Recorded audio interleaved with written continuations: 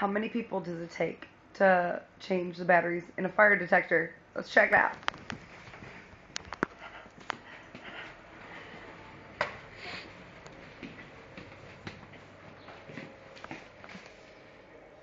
You gotta change batteries already?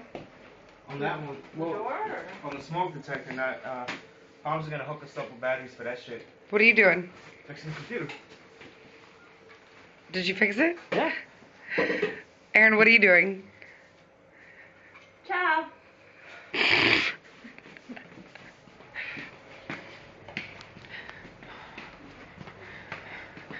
Archie, what are you doing? Trying to record his shit and he's gay.